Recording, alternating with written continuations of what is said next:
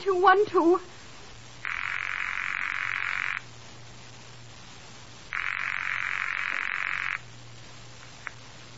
This is Scotland Yard.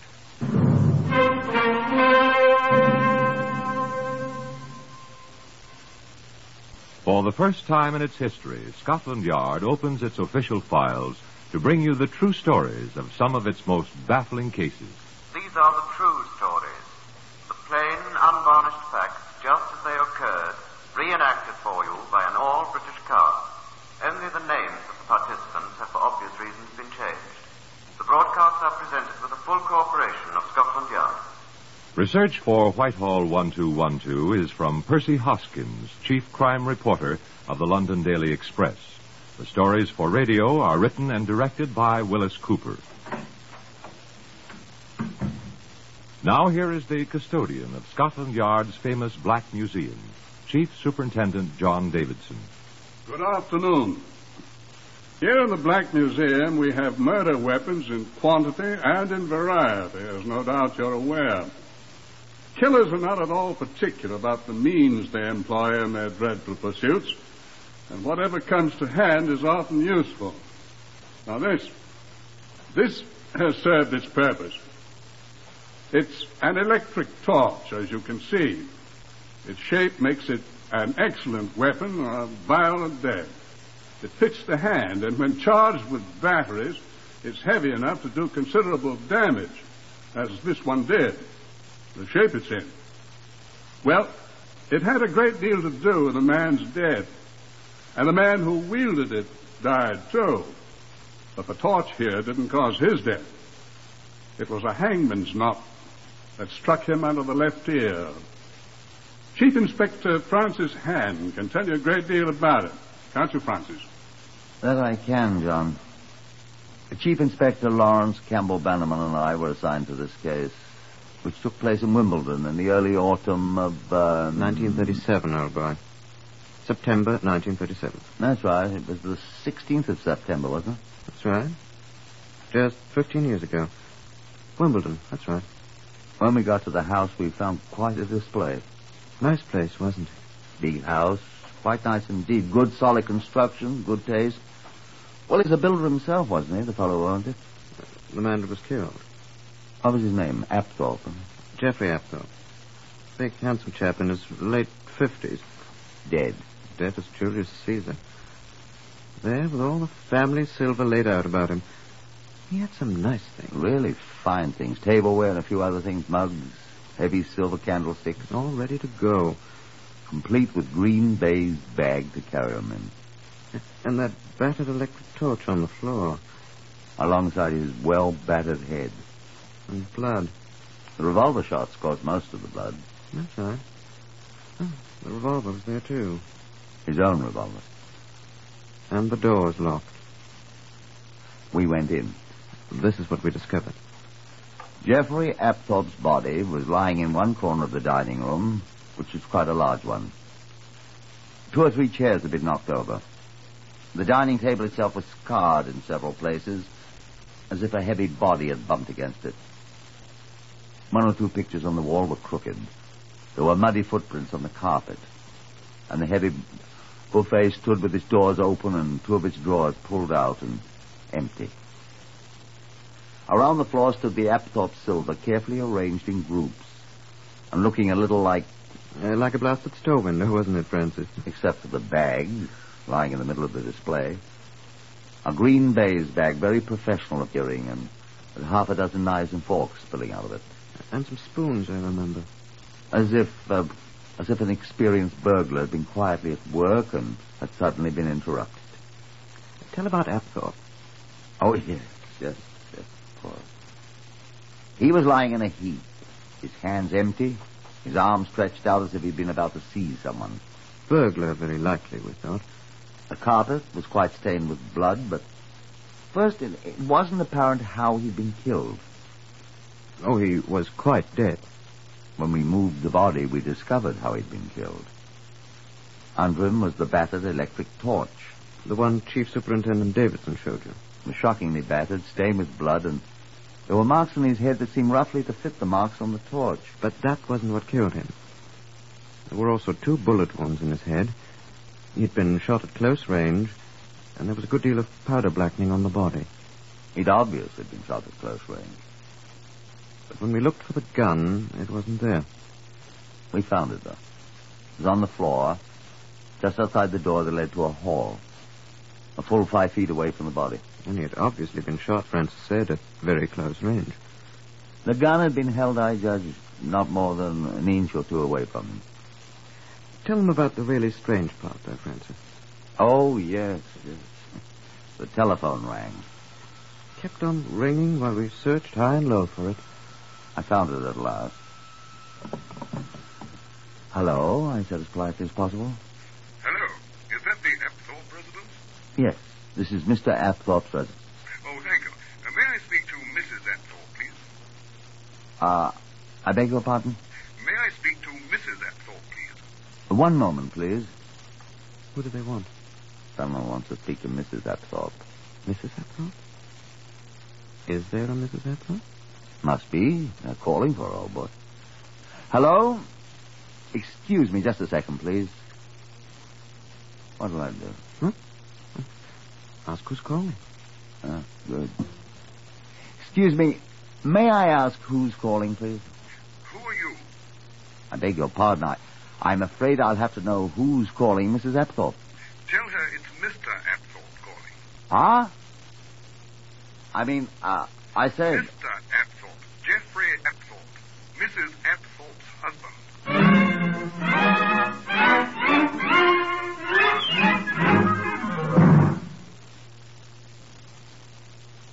Now, it was obviously impossible, wasn't it? For Mr. Jeffrey Apthorpe to be calling his home by telephone. For Mr. Jeffrey Apthorpe lay there before us, most convincingly dead. And if I may quote Algernon Charles Swinburne, dead men rise up never. The Garden of Proserpine stands at 12. Uh, The Garden of Proserpine and its eleventh stanza, beg your pardon, that dead men rise up never. Mr. Apthorpe never moved. And the voice on the telephone spoke again Oh, sorry. Mr. Apthorpe's gone. and broke off the connection. I couldn't agree more that Mr. Apthorpe was gone, and I immediately rang back to see where Mr. Apthorpe might be calling from. I Don't keep them in suspense, old boy. It was a sanitarium calling. Now, don't be giving the wrong impression, Lawrence. Not an asylum or anything like that. It developed Mr. A had been, um, Confined. had been, Committed. be still, do. He had been staying in this sanitarium because he was a drinking man. He drank to excess and is going through a course of treatment to remedy or alleviate some of the suffering he had been experiencing. he had been there for several weeks, leaving his wife alone in the great house, and he had been certified as recovered. Practically recovered. And he had taken a sudden notion to telephone his wife on a matter of importance, and had asked one of the attendants to ring up his home for him.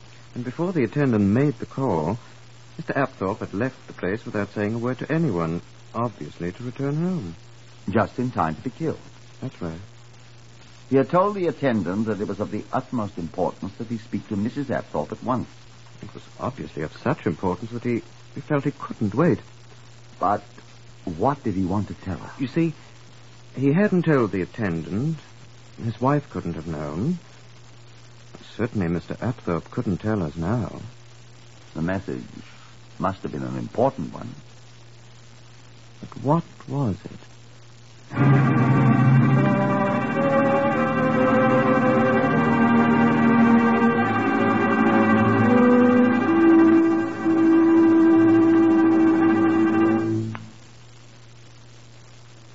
The next step was to consult the lady in question, Mrs. Apthorpe herself. Mrs. Cornelia Apthorpe. She might possibly have some idea of why her husband had attempted to telephone her and then abandoned the effort to return home, just in time to be murdered. Leaving the body of the deceased to be taken away for an autopsy, Campbell Bannerman and I went looking for her. We had not far to go. She was at the Wimbledon police station in a state of collapse. We found her barely able to speak. I'm sorry I wasn't able to see you gentlemen before. We're sorry, too, Mrs. Apthorpe. It's a pity we must disturb you, but... I quite understand. Have you discovered anything that I ought to know? I mean, We've discovered nothing yet, except... nothing. We were hoping that you could tell us something, Mrs. Apthorpe. Yes, we hope... I'm afraid I've said everything, but Would you mind telling us? This is the first time we've seen you, you know. All we know is what the officers who were first called were able to tell us. If you don't mind, then, Mrs. Apthorpe. perhaps you'll know that my husband has been away for some time. He's been ill. Ill? Yes, we know that. I've been away from home, too. Where have you been, madam? Well, only the last few days. I was so lonely in that great house, all alone. Where were you, Mrs. Apthorpe? I was visiting friends. But I, but I became worried about our place tonight. The silver and our other valuables, you know, and I've heard stories about burglars, and so I called a cab and hurried home. I'm sure you can confirm that with the cab people. Where were you, madam? Oh, uh, I was visiting my friends Alice and Eric Shield And where do they live? here in Wimbledon. Where, please? Oh, their place is called Portulaca Cottage. It's on Ely Road near the Common. Lawrence? Uh, Alice Shield can tell you. She wanted to come with me, but Oh, wait then, Lawrence, please. Right. Uh, uh, how about this Mr. Shield? He can... no, he wasn't at home when I left their house. Oh? Where was he? I don't know. He often worked late. I assume he was working. That's the impression I got from Alice. I mean, I hardly ever saw Eric. No, no, he, he wasn't at home. They know about... I think the people here at the police station telephoned them. Find out, Lawrence, will you, like a good chance? Hmm? Uh, uh, of course. I suppose Eric must have come home just after I left. Probably. He always does come home. Naturally. Uh, you say you didn't know your husband was returning home tonight? No, of course not. He was at the nursing home. Santeria. I, didn't expect him for another week. And to find him That is the way you found him. with all the silver there on the floor. He was lying there. Dreadful shock, madam. I, um... Why do you suppose he came home? I don't know. I haven't the faintest idea. You had no warning? None whatever. To find him lying there. Did your husband have a revolver? What?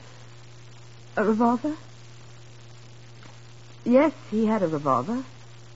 It is possible, then, he was shot with his own revolver. Oh, yes, that was his revolver. Eh? I saw it on the floor. Yeah, we saw it. They telephoned Mr. and Mrs. Shield. I talked to them, too. Oh, good. What else? Well, they talked to Mrs. Shield. Uh, he wasn't home, but he came in while they were talking. What did he say? They were quite shocked. He wanted to come over here to the police station. oh, no. But, oh, they said he didn't have to. Thank you, Lawrence. Sit down. Thank you. Uh, Mrs. Apthorpe, you said you have no idea why your husband came home at this particular time. No, not the slightest. Excuse me. Excuse me, Lawrence. I was going to ask Mrs. Apthorpe if she knew any reason why her husband should have put in a telephone call for her Telephone before he call? returned. I didn't know anything about any telephone call. He had put in a telephone call for you before he left the sanitarium. Then he apparently changed his mind and came home instead. How on earth did you... The call was put through whilst we were at your home. After your husband had been killed. Well, I haven't the slightest idea. Had he called you before from the sanitarium? Hmm? Uh, no. I don't remember that he did. Well, this must have been an important matter. One would think so. Wouldn't one? I Can't imagine what it was. Was your husband the worrying type, Mrs. Apthorpe? No. Well, he must have been worried about something. I don't know what it could be. Do you suppose Mr. Shield might know? You feel? Oh, Eric, I I don't think so. I don't know how he could know. Really? Well, he hardly knew my husband. I've asked Mr. Shield to come over here. Why, he ha... You asked him to come over here? Yes. you don't mind, friend. Of course not. But um, I'm afraid I don't quite... Mrs. Apthorpe, what is your theory of your husband's death? Excuse me. Theory? Why, he was killed by a burglar, of course. By a burglar? Well, of course.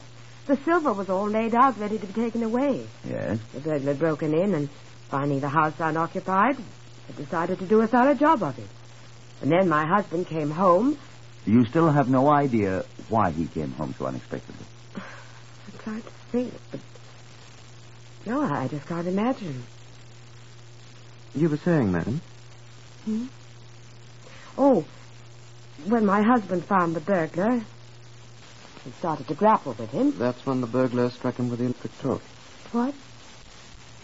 Yes, that's what I think, too. I forgot momentarily about the torch. Yes. And then my husband must have broken away and went to get his revolver. He didn't carry the revolver with him. No, no, it was in his desk in a drawer. Go on, please, madam. Well, then the burglar must have shot him. There was no one there when you arrived. No. Just Jeffrey lying on the floor there. The whole thing must have happened before I got there. Perhaps he heard me and ran away. Slamming the door and locking it. It was a spring lock. Yes, I remember. We had a time opening. Well, that must have been the way it happened. Poor old Jeffrey. Don't you think so? Don't you think so? Well, That's I- the way it looks, isn't it? That's the way it looks to me. Mrs. Apthorpe, you were on good terms with your husband, of course, weren't you? I, Yes? frankly, Chief Inspector, I was not on the very best of terms with him. Everyone knows we quarreled. My husband drank. And husbands who drink to excess often quarrel with their wives. Well, I didn't want to be under any false pretenses with you. Of course not. You'd find out anyway, but he was my husband. And you loved him. Yes, I loved him. Excuse me. Excuse me. I, uh, I wish I knew why he telephoned you and why he came home so unexpectedly. I'm sure I have no idea. Perhaps someone at the sanitarium might have an idea. Well, perhaps he was bored and just decided to come home. Perhaps he felt he was cured, and, and, and perhaps he was telephoning me to say that he was coming home. Perhaps. But perhaps he meant. I mean, uh, he might have changed his mind about telling you and decided to surprise you. That must have been it. Mm-hmm. He arrived at a singularly inopportune time. Poor Jeffrey. Well, at least we'll find the man that killed him, Mrs. Apthorpe. How will you find him? How can you be so sure? There are fingerprints on that electric torch, Mrs. Apthorpe. Oh, I didn't. Are there really? A fingerprint man's been examining it. Oh. How will he know? We'll compare them with the prints in the Criminal Records Office. We've prints of practically every known burglar, But what if his. The, um. I mean, what if the prints aren't on file? Oh, it'll be a little tougher on us, but we'll find him eventually. You think you will? we'll find him, Mrs. Apthorpe. Somewhere. Is my husband. I mean, is he still. Is he still there? Uh, he's been taken to the mortuary, Mrs. Apthorpe. Why, did you wish to go home? If, if he's gone. I mean, would you take me there, please? Uh, we'll have someone take you home, Mrs. Apthorpe. I was hoping you gentlemen. Oh, I'm so sorry. Chief Inspector Hand and I must stay here for a while. Uh, we're on duty. Oh, I'm so sorry. Can't be helped, although I really wish... We'll be in touch with you, Mrs. Apthorpe. If you'll excuse us now. Come along, Francis. Uh, if you'll just wait here a moment, I'll, uh, we'll send someone to drive you home. Thank you. You have our sympathy, Mrs. Apthorpe. Yes, indeed, Mrs. Apthorpe. Goodbye. Goodbye.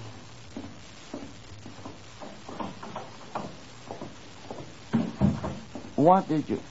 We could have taken her. Why was I so rude, you mean? Well, You forget we must see Mr. Eric Shield, my dear Hand. oh yes, he's coming here, isn't he? What do you want to see him about?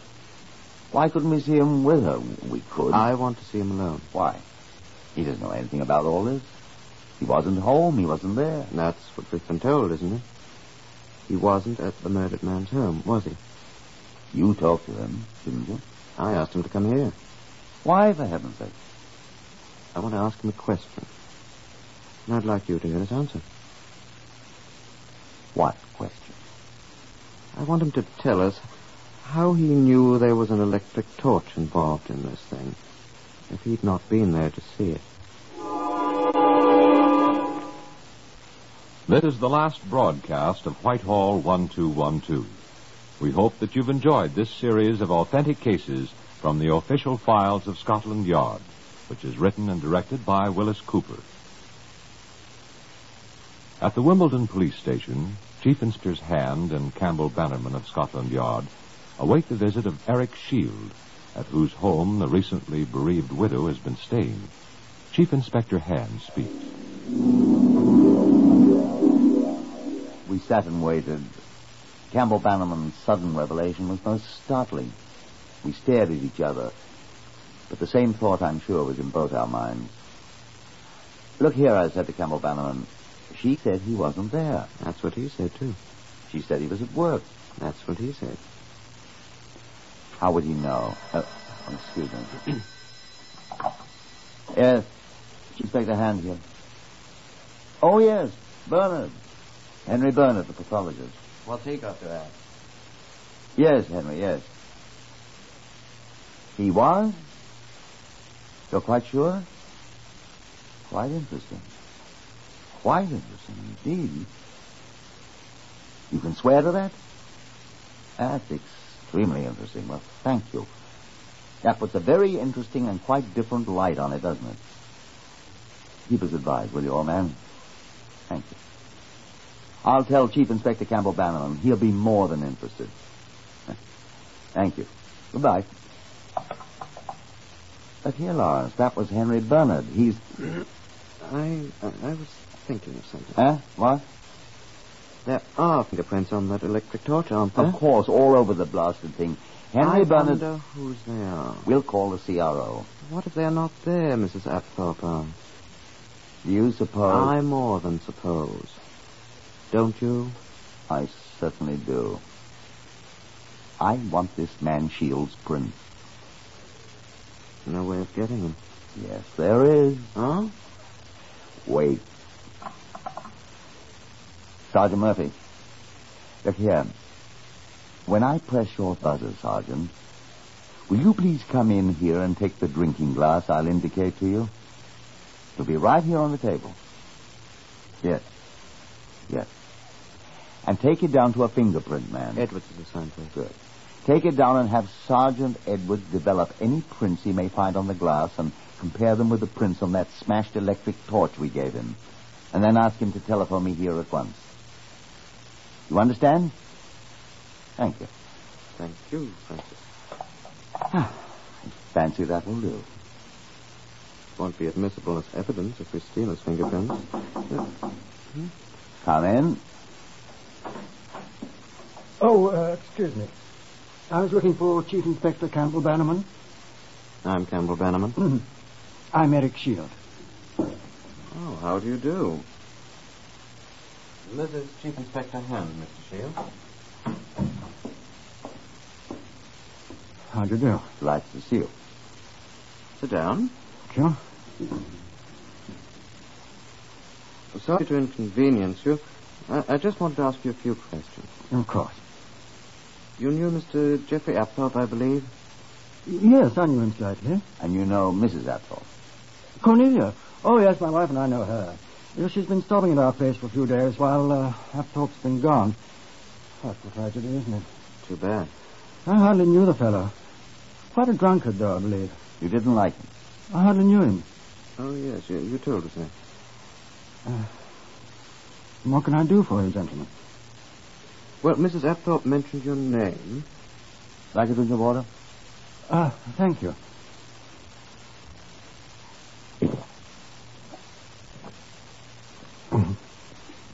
Would you like some more? No, thank you.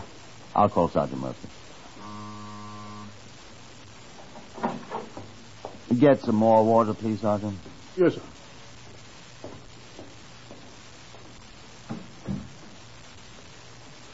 Have you ever been to Mr. Apthorpe's house, Mr. Shield? Uh, no, I haven't. I understand it's quite a place. Burglar broke in there tonight. The burglar killed him. That's what it looked like. Yeah. Mm-hmm.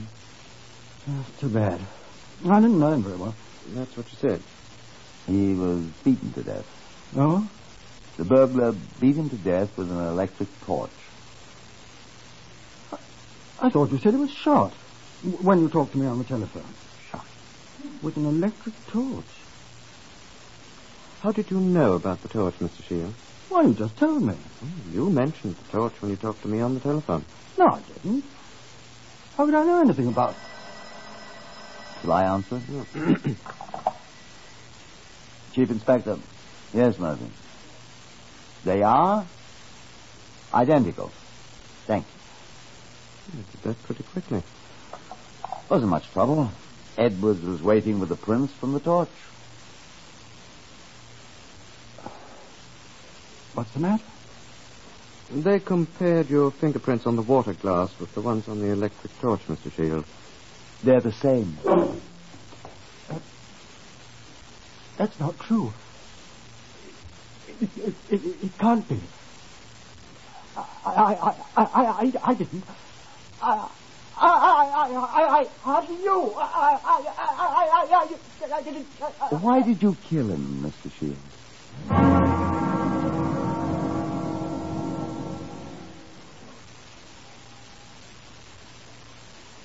It wasn't admissible evidence, of course, but it was enough to cause the bewildered Shield to blurt out the whole story, and we charged him. Yes, I did it. I've been in love with Cornelia for years. But you're married, Mr. Shield. I love Cornelia. I'm sorry for my wife. I honestly am, but I love Cornelia. How did you do it? Well, I, I was going away with Cornelia. I was going to get her away from that beast. Marry her? Of course. I loved her, I tell you. Go on. This was our opportunity. He was away, and I went to the house with Cornelia. I took my torch oh. so we wouldn't have to turn off the light. She was picking up her clothes. They were all packed. And she talked, too. And just then the door opened. And there was Jeffrey. He'd heard something about Eric and me, and he screamed at us. He'd run away from the sanitarium, and he was drunk. And he said, I'll kill you, I'll kill you both. And he had some such dreadful things, and he sprang at Eric. And I lifted my torch. Oh, Eric, it was so horrible. And then you thought you ought to make it look as if a burglar. I took out the silver and arranged it. And then I went away, back home, while Cornelia called the police. How did he get shot? I don't know. I didn't. I did it. Cornelia. I knew it had to look like a burglar. And I knew where the revolver was kept. He was dead, Cornelia. Yes. But I had to make it look good, darling.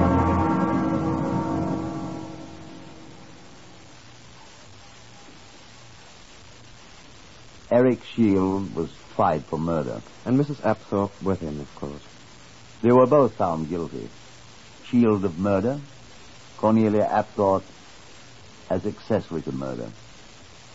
Shield was hanged at Pentonville two and a half months after the crime. And Mrs. Apthorpe served 11 days of her sentence of penal servitude before she died.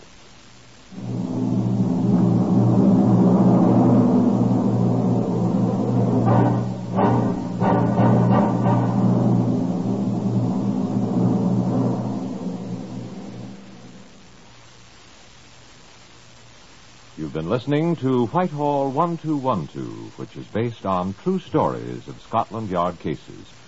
Today's story, of The Wimbledon Burglary Murder, is the last of the series. Thank you for listening to us. Heard today were Horace Braham as Chief Inspector Hand and Lester Fletcher as Chief Inspector Campbell Bannerman. Others in the order of their appearance were Harvey Hayes, Morris Dollymore, Kathleen Cordell, Carl Harbord, and Florine Sears. Whitehall 1212 is written and directed by Willis Cooper.